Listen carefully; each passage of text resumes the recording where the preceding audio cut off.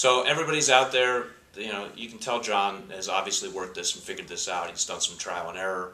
One of the things that was really important to me, so people have the right expectations, um, is what does it actually take to do this? And John, maybe just tell people a little bit what should they expect if they buy realty tracks? What do they need to do? What kind of time commitment do they need to make to it? Sure. Uh, the big thing is you're just not sure when you're going to get email from RealtyTrac that somebody's interested in the uh, zip code that you've, you've purchased. And I've had the most success is when I pick up the phone and call them as soon as I get the email. Uh, that you know, it's just it's just a general conversation. You know, hello, I'm calling from Century 21. I work with RealtyTrac. I got an email with your contact information on it. How can I help you? Just a simple opening line, and then let them talk.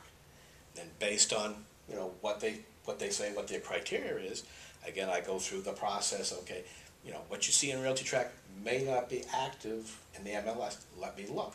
Okay, then I'll take it to the next step. But tell me what your criteria is. You know, and then three bedrooms, single family, and again, the whole time just building to try to send them a search criteria to earn their trust that hey, you know, I'm, I'm gonna I'm here to help you.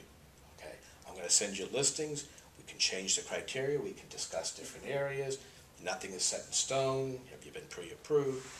And then I'll send them the listings. I'll send them an introduction an email from me. Put them on a drip campaign, and just you know, based on the conversation, just like any you know customer. Do you want me to call you back in a week after you've looked at things? Do you want me to call you back in a couple of days, and just take it from there? Terrific.